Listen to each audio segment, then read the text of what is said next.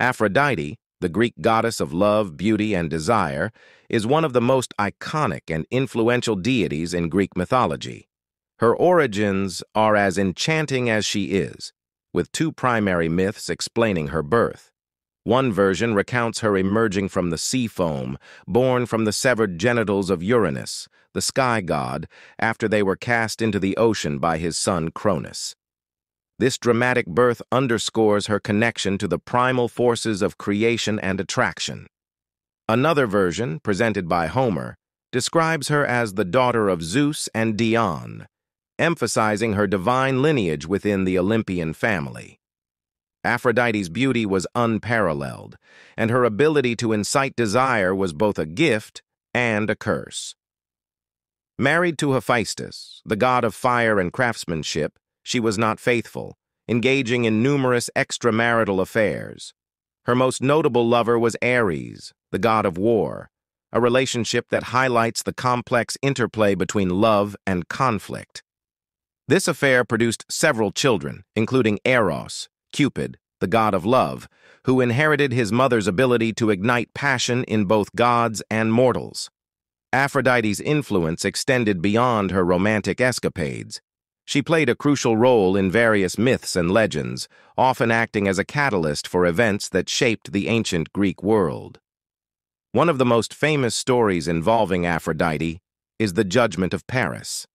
In this tale, the mortal prince Paris of Troy was tasked with deciding who among Hera, Athena, and Aphrodite was the fairest. Each goddess offered Paris a bribe. Hera promised power, Athena offered wisdom and victory in battle and Aphrodite promised the love of the most beautiful mortal woman, Helen of Sparta. Paris chose Aphrodite, leading to the abduction of Helen and the subsequent Trojan War, a conflict that deeply influenced Greek culture and mythology. Aphrodite's symbols include the dove, myrtle, rose, and swan, all of which represent aspects of love, beauty, and grace. Her sacred spaces were numerous, with significant temples and cults dedicated to her worship across the Greek world, particularly in Cyprus and Cythera, where she was believed to have first emerged from the sea. Festivals in her honor, such as the Aphrodisia, celebrated her divine influence over love and procreation.